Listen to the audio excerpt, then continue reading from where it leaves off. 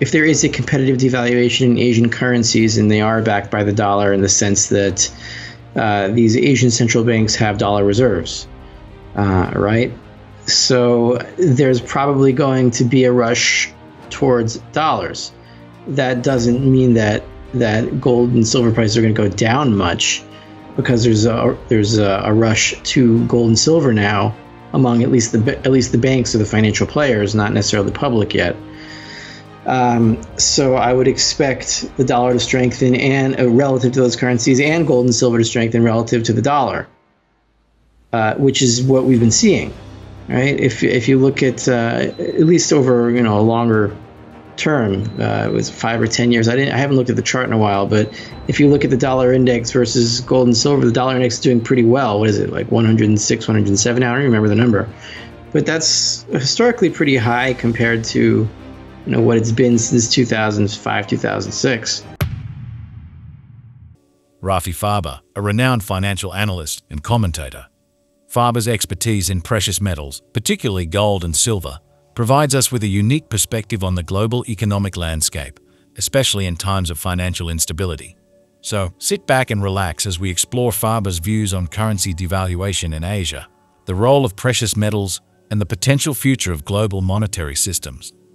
Rafi Farber starts by addressing the potential devaluation of currencies in Asia. He speculates that if such devaluations occur, a significant response might be an increased demand for silver. This is because silver, being a global commodity, would see its price rise in all currencies if there's a financial crisis spreading across several countries, not just isolated ones like Thailand.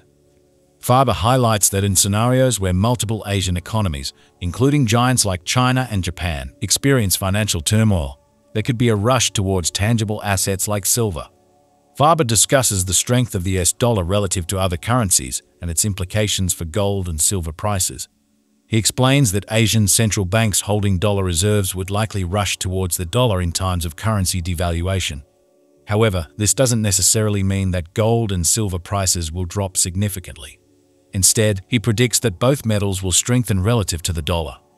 Farber points out that over the past 5 to 10 years, gold and silver have maintained their value well despite the dollar's strength, suggesting a robust demand for these metals among financial players, if not yet the general public. Delving into historical context, Farber explains that before 1873, the dollar was backed by both gold and silver. Post 1873, it became strictly a gold derivative, which he argues is unjust. He envisions a future where we might return to a system of free market money, backed 100% by gold and silver. Farber anticipates a significant upheaval where central banks might lose their power, and people would gravitate towards physical assets to protect their wealth. Before we begin, don't forget to subscribe to our channel for more expert insights and analysis. Guessing, I mean, I, I've I haven't been able to do full research on this, but if there is a devaluation of currencies in Asia and their response is to buy silver, then silver is a global commodity. It'll go up in all currencies. Uh, it, it, so uh, that that's that's what I'm thinking. I can't confirm that, um, but why else would it go up if if there's a financial crisis somewhere, not just in one country like Thailand, that Thailand's not big enough, but if it spreads to Russia and in, in Asia and China and Japan, and then they're all demanding more silver because they're getting nervous, whether it's banks or, or traders uh, demanding contracts or derivatives of silver, or you know, I, w- I would guess that the physical demand was kind of low, but some kind of something of silver, then uh, you know the price would go up uh, if the if the currency's in trouble if there is a competitive devaluation in Asian currencies, and they are backed by the dollar in the sense that uh, these Asian central banks have dollar reserves, uh, right? So there's probably going to be a rush towards dollars. That doesn't mean that that gold and silver prices are going to go down much, because there's a there's a, a rush to gold and silver now among at least the at least the banks or the financial players, not necessarily the public yet. Um, so I would expect the dollar to strengthen and uh, relative to those currencies, and gold and silver to strengthen relative to the dollar, uh, which is what we've been seeing, right? If if you look at uh, at least over you know a longer term, uh, it was five or ten years. I didn't I haven't looked at the chart in a while, but if you look at the dollar index versus gold and silver, the dollar index is doing pretty well. What is it like 106, 107? I don't remember the number but that's historically pretty high compared to you know what it's been since 2005 2006 so we have a we have a stronger dollar relative to other currencies and we have gold and silver uh, gold at record highs and silver at uh, you know levels that it's not at very often at all so uh, we'll just we'll continue to see that right we'll continue to see the dollar strengthening relative, relative to other currencies but the metal's not really caring and just going up anyway While gold is the money, and the rest are derivatives of it, uh, in one in one way or another. Um, this is what I, I, try to clarify. I try to get people to think in, into these in these terms. Um, that the, the main gold derivative is the dollar. It used to be a silver slash gold derivative before 1873. Now it's strictly a gold derivative which is itself is unjust and suggests that the end game is not going to be us going back on a gold standard. It's going to be us going back on free market money of a silver currency and a gold currency that's 100% back. That's how I see it. And uh, I see all the central banks being kicked out and and laughed off, or, or you know maybe something violent happens. I don't know, but I think people are going to be pretty upset. so um, yeah, it's it's it's not going to be good for them. Most of them are invested in these assets, in stocks uh, and tech stocks and whatever it is. They they they log into their brokerage accounts on Interactive Brokers or TD Ameritrade, and they see a dollar number there, and they imagine how much wealth they could purchase with that stuff, with the, with those dollars that they say that their their their brokerage accounts are worth. So why would anyone care what the price of gold and silver are if they're doing fine? right? They really start panicking or getting, or at least before they panic, they get interested in gold and silver. When when is that? When their stocks aren't doing so well, right? And their brokerage accounts are a lot less than they thought they would be. And, and then they suddenly realize they're like, well, gold and silver are heading higher, and inflation is uh, what they call inflation. Right? Rising consumer prices are getting worse, and these gold bugs are suddenly they're they're increasing their purchasing power. Maybe I should look at that. There's no reason for them to even look at it. If, let's say, gold was $400 an ounce and the Dow was instead of 40,000, 400,000, they still wouldn't look at it. That's to do with the ratio. And if you look at the ratio of, of silver or gold to the to stocks, stocks are still doing much better than than gold since of course since very much since 2011, but even recently it's still very very low. Um, that's why this um, the panic will really come all at once as it did in the not all at once on the same day, but it'll come like a snowball. And uh, once once the Dow to gold ratio or the S and P to gold ratio, whatever ratio you want to choose, once gold really starts outperforming, um, and it, it, incidentally it has been outperforming since 1971. If you look at a chart of gold versus versus stocks versus the Dow, since 1971, gold is outperforming, um, but not not since um, since 2011, the last 12, 13 years. Once that changes, you'll get a change. Uh, you'll get a change of uh, of heart from from the the public, the investing public. Um, but it's not going to happen until stocks really start struggling or inflation eats into the value of their portfolios to such a degree that it doesn't even matter that stocks are rising. We have retail. Um, I assume you mean retail demand in the we- in the West and premiums are low. Um, well, you know, stocks are doing well. So people are looking, people with enough money to buy gold and silver with are looking at their brokerage accounts and they're saying, oh, this is fine. I don't have to protect myself. So demand is low. Uh, and uh, I'd say the, the, the metals are being drained from the big uh, centers, from the big stocks center, metal stock centers.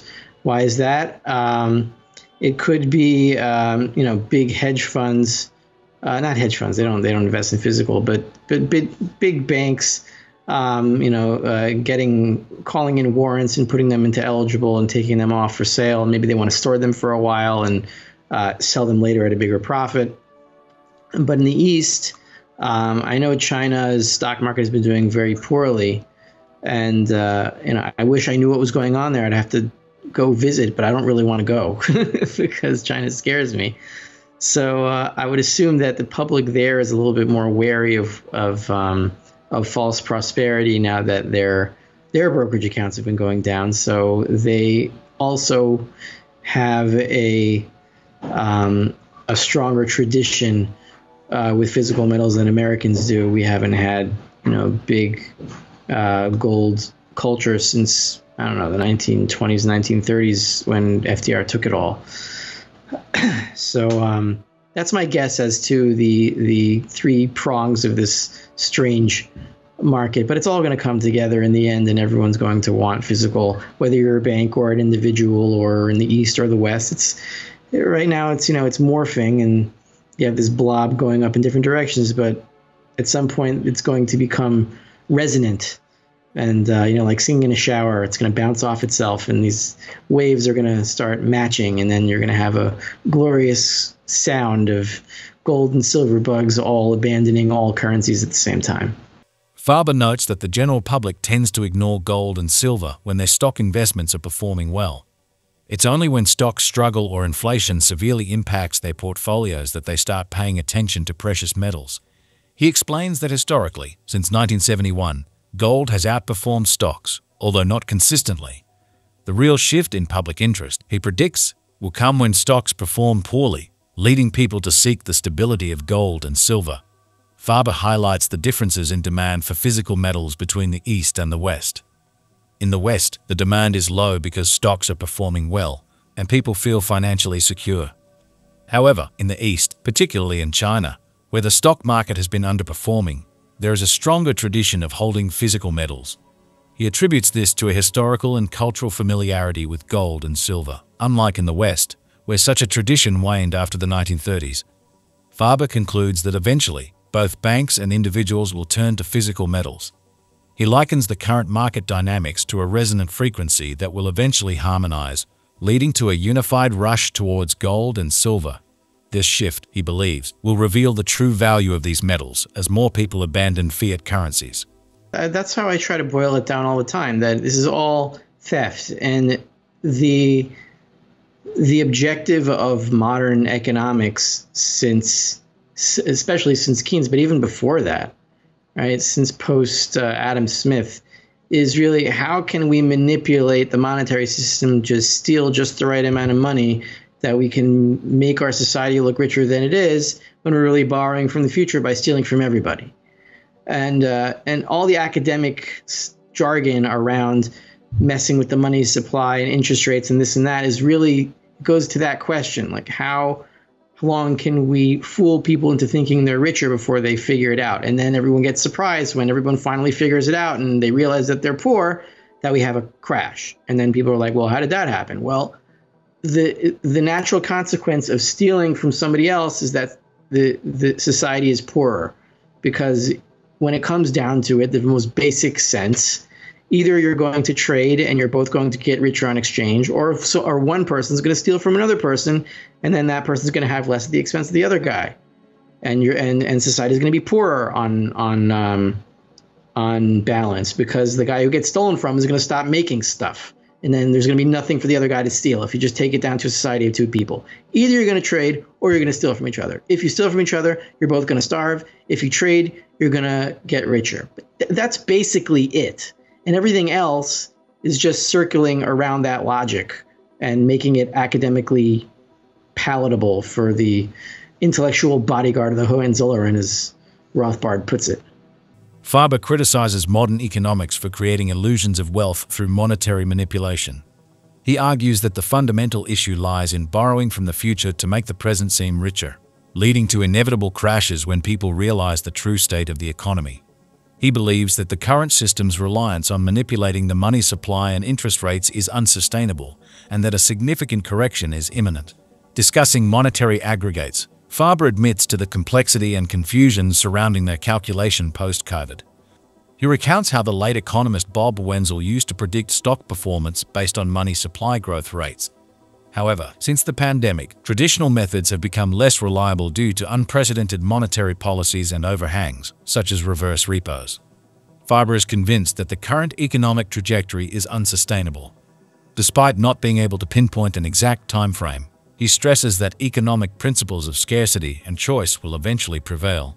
He warns against remaining in the financial casino, suggesting that a significant economic shift is unavoidable. Make a confession, the the monetary aggregates have been so confusing to me since since COVID You know, I uh, I was taught by um, by Bob Wenzel of Economic Policy Journal, the late Bob Wenzel. He passed away in May 2021, and he would calculate the monetary aggregates in terms of the quarterly annualized money supply growth rate. And if it was high, then he would say stocks are doing going to do well, and if it was low, he'd say stocks are going to crash soon. And he was generally right. Um, but since COVID, you know, we just just went vertical, and now we have this overhang. So how do you calculate it? And uh, we have we still have about 500 billion dollars left in the reverse repos that are supposed to still uh, you know filter into the money supply at some point. Uh, so I'm really at a loss as to how to calculate the money supply anymore and how it would affect stocks. But look, it's some I do know that it's not growing. Right? It's not growing anymore since 2021.